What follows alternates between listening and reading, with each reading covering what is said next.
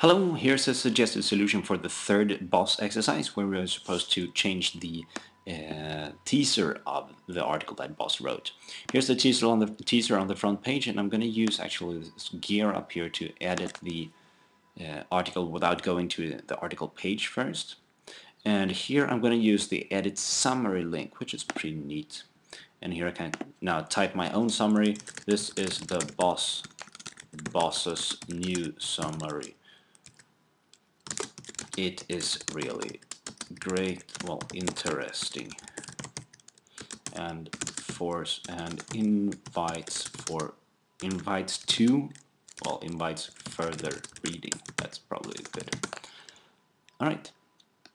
And um, yeah actually that's it. If I save here we'll see that the teaser on the front page is changed to boss's new summary.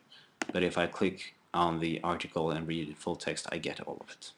And that's it. Um, yeah, see you in the next exercise. Bye.